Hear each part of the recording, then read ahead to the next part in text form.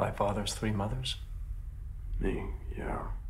eight parents, one child, Yes. on a 22 acre farm in Montana. North American trade zone, very expensive to maintain. You were a tax break? That's not the way they saw it.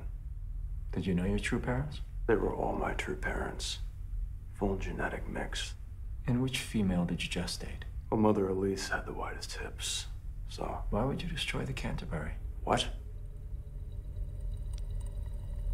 What are you talking about? What did you do with Alex?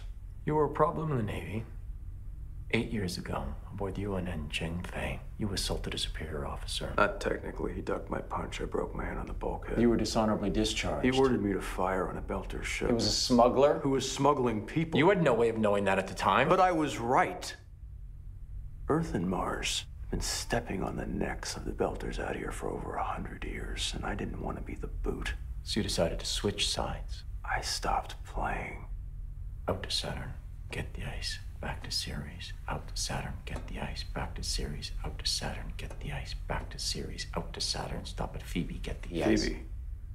Never stopped at Phoebe. It's a restricted station. Why did you nuke the Canterbury? How long have you known that Naomi Nagata was an OPA operative? What? Two advanced degrees in fusion drive design.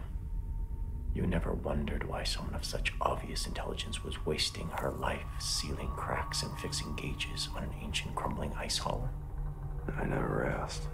Based on the desperate condition of your shuttle, it clearly required extraordinary improvisational expertise for you and your crew members simply to survive, let alone restore your antenna array. These are the hallmark skill sets of terrorists. Did Naomi Nagata effectuate those repairs? It's not impossible, is it? Naomi's not OPA. I don't believe you. You do now.